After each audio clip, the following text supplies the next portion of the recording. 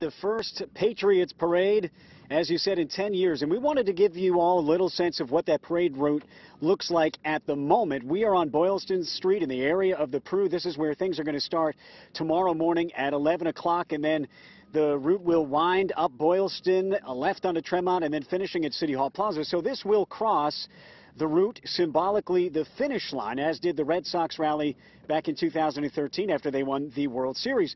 The major challenge here, as you can see, is cleanup. The snowiest week in Boston history, and it has posed a monumental task for crews out here. You can see the sidewalks they have done a very good job of getting these cleaned up. But one of the issues that I noticed is that uh, on certain parts of this route, the mounds that have been left from that cleanup on some of the sidewalks, if you just look to your right, for instance, uh, if you're a kid, you know, and you're here to see the Patriots, you might not be able to see over these mounds. Uh, some of them are six, seven, eight feet tall. Uh, that could pose a bit of an issue. And of course, the iciness, because it's going to be so cold tomorrow, they're going to have to make sure they lay plenty of sand and salt along these routes as well to keep uh, folks safe.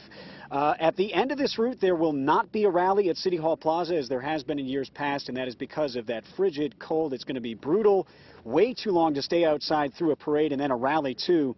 Uh, as for the questions of can the duck boats make it through this snow, which they have never had to do before in any of the past rallies, and as for the question of why not hold this on Wednesday instead of tomorrow, Mayor Walsh addressed both of those questions at a noon press conference today.